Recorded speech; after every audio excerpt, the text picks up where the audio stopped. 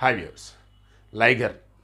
Boycott Liger అని అంతా అంటూ ఉంటే అంత కదా కొందరు అంటూ ఉండి అన్నాను. అరే మన పూరి జగన్నాథ్ సినిమా అయ్యా చూడండి అయ్యా అని చెప్పేసి అంటే "ఏ, లేదు సార్. అది బాలీవుడ్ కరణ్ జోహర్ కూడా ఇన్వాల్వ్ అయ్యాడు సార్. లేదు మేము బాయ్కట్ చేస్తుంది అన్నారు. కంటెంట్ బాగుంటే ఆటోమేటిక్ చూస్తారులే శివ గారు వదిలేని చెప్పి చాలామంది చెప్పుకుంటూ వచ్చారు. ఈరోజు బాయ్కెట్ లైగర్ అన్నారనో లేదు అన్నప్పుడు ఇంకేదో అని కాదండి. కంటెంట్ చాలా ఇబ్బందికరంగా ఉందని చెప్పేసి రివ్యూలు మొత్తం వస్తున్నాయి. అక్కడ పబ్లిక్ టాక్ అలాగే వినిపిస్తోంది.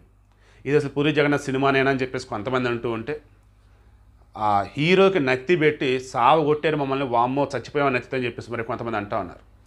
ఫస్ట్ హాఫ్ వచ్చేసి ఏదో అలా నడిచింది. సెకండ్ హాఫ్ అయితే చాలా చాలా టెస్టింగ్ అన్నట్టుగానే ఉందండి జనాలను అయితే అని అంటున్నారు.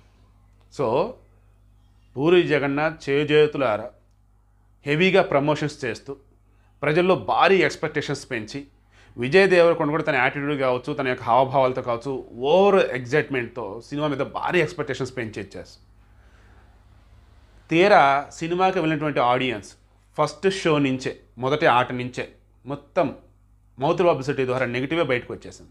మొత్తం నెగిటివ్గానే అంతా మాట్లాడుతూ ఉన్నారు. కథలో కొత్తదనం లేదు. మైక్ టేసన్ వచ్చేసి ఏదో చూపిస్తారనుకుంటే ఆడ అసలు ఏమీ లేదు. సినిమాలో హీరోయిన్ రమ్యకృష్ణనా లేదంటే అనన్య పాండ్యని అనిపిస్తుంది. మొత్తం కూడా రమ్యకృష్ణ ద్వారా నడిచింది. అనన్య పాండ్యని కేవలం ఎక్స్పోజింగ్కి ఏదో కొన్ని సీన్లో ఉండాలి కాబట్టి హీరోయిన్ అని చెప్పేసి ఆ వేళ పెట్టే తప్ప వేరేది కాదు. సినిమా మొత్తం చూస్తే విజయ్ దేవరకొండ కనిపిస్తూ ఉంటాడు. అండ్ ఆ నత్తి వచ్చేసి కొన్ని చోట్ల ఇబ్బందికరంగా ఉంది. సో ఓవరాల్గా లైగర్ సినిమా డిజాస్టర్ టాక్ తెచ్చేసుకుంది. మరి పూరి జగన్నాథ్ ఎందుకు ఇలా చేశాడో తెలియటంలో. బట్ పూరి జగన్నాథ్ ముందు ప్రమోషన్ చేస్తున్న సమయంలో సినిమాకి ముందు ఆయన అసలు ఈ ఐడియా ఎలా వచ్చిందయ్యా నీకు అంటే ఇద్దరు అమ్మాయిలతో సినిమా చేస్తున్నాను కదా నేను అల్లు అర్జున్తో అప్పుడు చెప్పుకొచ్చాడు హాలీవుడ్లో డైరెక్ట్ ఉన్నాడు. ఏదో ఒక వైకల్యం ఉంటుంది హీరోకి సంబంధించి.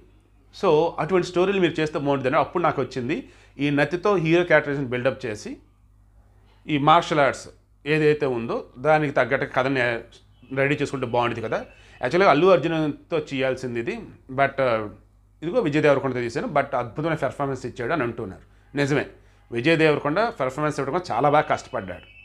కానీ కథలో దమ్ము లేదు. అండ్ రొటీన్ కథట. నేను సినిమా చూడలేదు కాబట్టి మొత్తం చెక్ చేసి చెక్ చేసి చెక్ చేసి చెక్ చేస్తే ఈ మాత్రమే చెప్పగలుగుతూ ఉన్నా.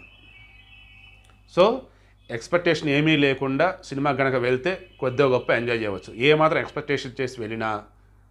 అండ్ ఆ హీరో నత్తిని ఇబ్బందికరంగా ఫీల్ అయ్యే వాళ్ళు కనుక ఉన్నా సినిమా చూడటం కష్టమైన అనిపిస్తూ ఉంది.